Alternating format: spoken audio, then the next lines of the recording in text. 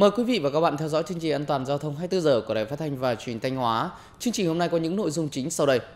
Tăng cường các biện pháp phòng chống dịch COVID-19 trên phương tiện vận tải công cộng.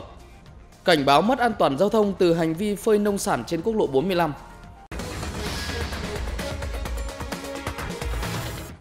Chủ tịch Ủy ban nhân dân tỉnh Thanh Hóa vừa ban hành công điện số 11 gửi giám đốc các sở, trưởng các ban ngành, đơn vị cấp tỉnh, chủ tịch Ủy ban nhân dân các huyện, thị xã, thành phố về việc tăng cường các biện pháp phòng chống dịch COVID-19 trên địa bàn tỉnh.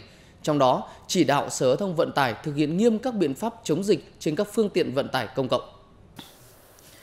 Yêu cầu Sở thông Vận tải hướng dẫn thực hiện khai báo y tế, ghi chép và lưu trữ thông tin hành khách trên tất cả các phương tiện vận tải công cộng, phối hợp xử lý nghiêm các vi phạm theo quy định, yêu cầu các đơn vị vận tải thực hiện nghiêm túc các biện pháp phòng chống dịch COVID-19 theo hướng dẫn của Trung ương và của tỉnh, cam kết chịu trách nhiệm đảm bảo công tác phòng chống dịch khi tham gia hoạt động giao thông vận tải, đồng thời chủ động tham mưu cho Chủ tịch Ủy ban nhân dân tỉnh các biện pháp cụ thể phù hợp với diễn biến của dịch bệnh.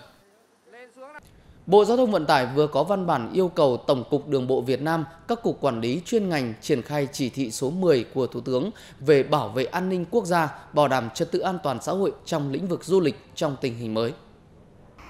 Theo đó, các đơn vị cần chỉ đạo nhà ga, bến tàu, cảng biển, bến xe tăng cường điều hành, phối hợp giữa các lực lượng vận tải, quản lý kết cấu hạ tầng giao thông, người điều khiển phương tiện, bảo đảm chất lượng dịch vụ vận tải, đáp ứng yêu cầu bảo đảm an toàn, thuận lợi cho khách du lịch khi tham gia giao thông, kịp thời giải quyết hoặc tham mưu để xử lý các tình huống phát sinh về an toàn giao thông đối với khách du lịch. Bộ Giao thông Vận tải yêu cầu Tổng cục Đường bộ Việt Nam, các cục quản lý chuyên ngành, các sở giao thông vận tải đề xuất và triển khai các giải pháp nâng cao chất lượng dịch vụ vận tải, nâng cấp hạ tầng giao thông đường bộ, đường sắt, hàng không, hàng hải, đường thủy nội địa hỗ trợ và tạo động lực cho phát triển du lịch.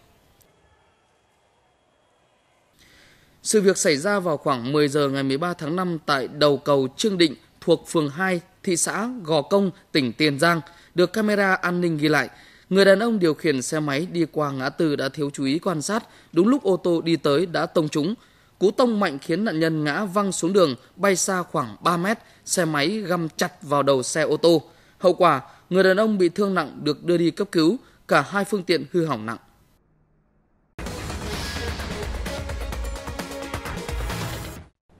Thưa quý vị và các bạn, tình trạng người dân lấn chiếm lòng lề đường làm nơi tuốt lúa, phơi thóc trên các tuyến đường diễn ra khá phổ biến, đặc biệt là trên tuyến quốc lộ 45 đoạn qua địa bàn huyện Thiệu Hóa và huyện Đông Sơn.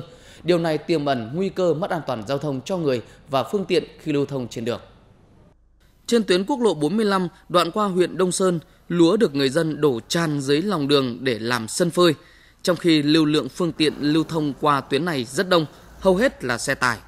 Thậm chí có nhiều vị trí, người dân giải lúa ra hai bên đường khiến lòng đường bị thu hẹp, các phương tiện lưu thông khó khăn.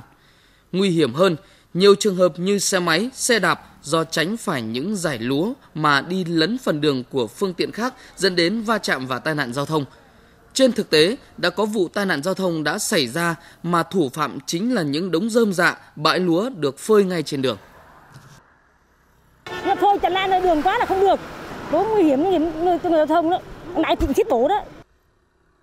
Trên thực tế, câu chuyện người nông dân biến mặt đường thành sân phơi vào mùa gặt đã trở thành câu chuyện biết rồi, khổ lắm, nói mãi. Mặc dù năm nào cũng vậy, dù được lực lượng chức năng cùng chính quyền địa phương thường xuyên nhắc nhở, nhưng tình trạng này vẫn tiếp diễn mỗi khi đến mùa gặt.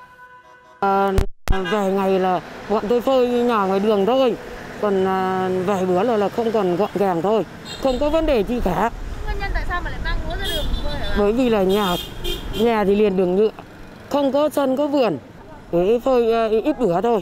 Vâng. À, thế là bình thường là hàng năm chính quyền họ có nhắc nhở không hả? Có nhưng mà cái là ừ, tranh thủ phơi thôi. Đề nghị chính quyền địa phương tăng cường công tác tuyên truyền cho nhân dân, đồng thời có biện pháp xử lý nghiêm đối với những hộ dân cố tình vi phạm, tránh các vụ tai nạn giao thông đáng tiếc xảy ra. Quý vị và các bạn vừa theo dõi chương trình an toàn giao thông 24 giờ. Xin kính chào, tạm biệt và hẹn gặp lại.